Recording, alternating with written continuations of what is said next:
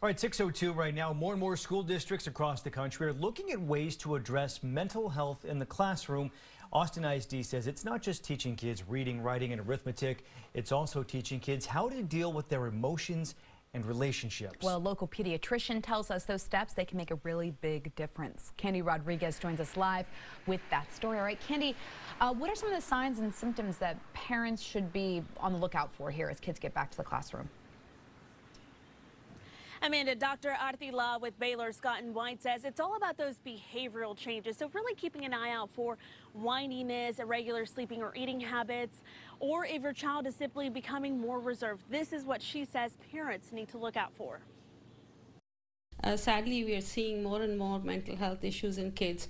Baylor Scott and White pediatrician Dr. Arti La says the good news is more teachers and parents are recognizing the signs. Basically, uh, anything outside the normal. In her 20 years as a pediatrician, things have changed. One big factor is social media. And they're learning from their immature peers. They're not learning from adults who have a functioning, uh, you know, frontal lobe. Arti says social issues could add to the mental health problems students may be facing. Schools on lockdown, uh, you know, weather changes, um, gun violence, uh, immigration issues, ICE knocking on your door.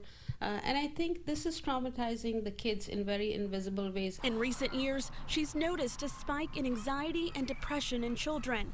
But unlike when we were young, when no one talked about mental health, Arti says at least today those conversations are taking place.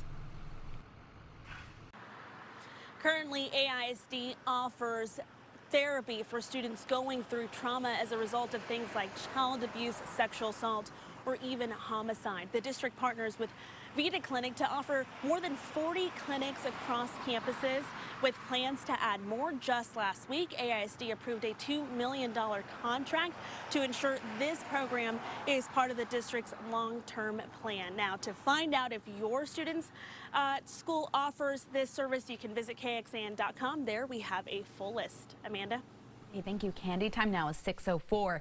The state of Oregon is taking a new approach this year. Students will be allowed to take mental health days, and it won't count against them. School districts will excuse them. Young activists were behind the push to get the bill through lawmakers and the governor. They say they were inspired by last year's movement following the Parkland shooting.